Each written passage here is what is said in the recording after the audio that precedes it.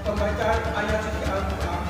Kemarin Kapolsek Kaskota Kesejahteraan Kenpol Ibu Armeni SHMM yang terhormat Bapak Lurah yang mewakilinya.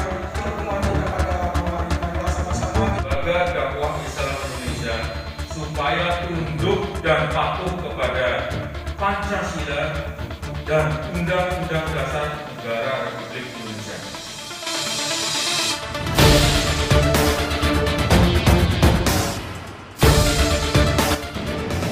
dalam rangka mengantisipasi untuk keamanan wilayah hukum Polsek Bekasi Kota itu khususnya Kecamatan Bekasi Barat. Assalamualaikum warahmatullahi wabarakatuh.